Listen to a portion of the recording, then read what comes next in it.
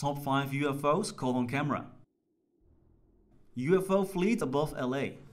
Filmed a couple of weeks ago by the time this video was created, residents of Los Angeles were shocked to see a whole bunch of strange flickering lights in the sky. Filmed from inside what seems to be a car, the footage is regrettably a tad shaky, but we do see what seems to be a whole bunch of these strange flickering lights high up in the sky.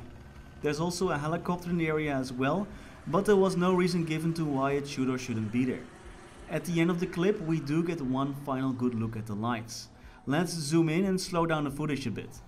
The fleet seems to be flying in some sort of formation, with the fleet being led by one light up front. I'm counting 9 of them in total, and especially the inner lines are flying in what appears to be a tight triangle-like formation. It could even be one big ship with smaller lights instead of individual crafts. Actually, I found another video which shows similar UFOs. This clip was filmed in Chile last month and shows a group of flickering lights similar to our original footage. However, this one has a better close-up view of the UFOs.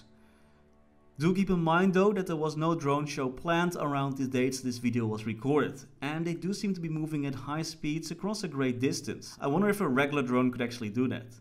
But there might be another explanation for these UFOs. You see, both LA and Chile are located above massive fault lines where earthquakes tend to happen. And there is a strange unexplained phenomena called earthquake lights. These strange types of light have been seen before during and after earthquakes. However, scientists are yet to understand and explain them. It can also be indicating that an earthquake could be due soon. But what do you think those could be? Drones, earthquake lights, or perhaps something more alien?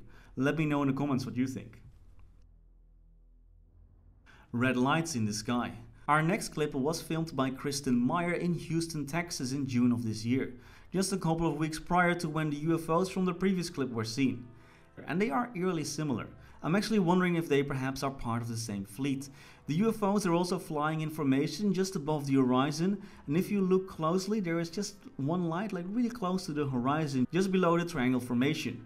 Our camera lady Kristan mentions that her camera doesn't even pick up all the lights that she can observe with the naked eye, so there actually are a lot more lights than what we can see.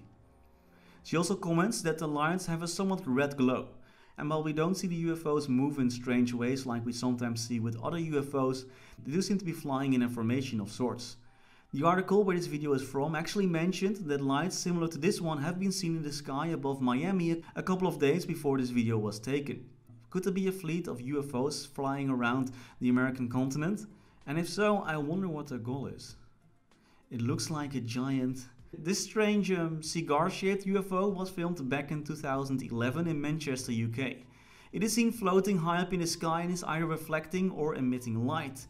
First thing that came to my mind was that this perhaps could be a solar balloon, something like this, made from black garbage bags. However, solar balloons usually don't reflect any light, or at least not a lot of it because else they can't float properly.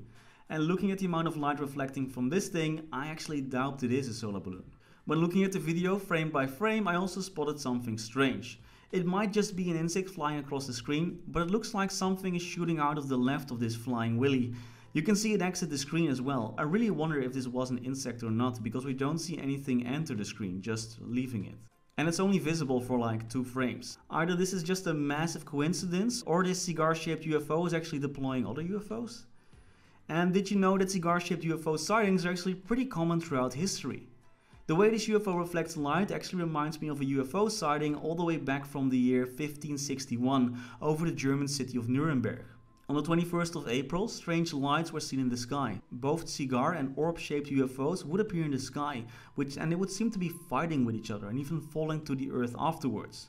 The event was witnessed by a ton of people and even made the local newspaper headlines. Back then, people thought it was a sign from God. By the way, if you are enjoying this video, make sure to leave a like, it really helps. And if you want to see more, don't forget to subscribe and ring that bell notification to stay up to date for when new videos are released. Dancing Lights in Chile. Filmed on August 17th of this year in Punta Arenas in Chile, a couple of strange moving lights are caught on camera. The UFOs in this clip are moving very fast and are doing some crazy maneuvers. It's almost like they're dancing. I found this video on Reddit and some people there were wondering why these UFOs glow.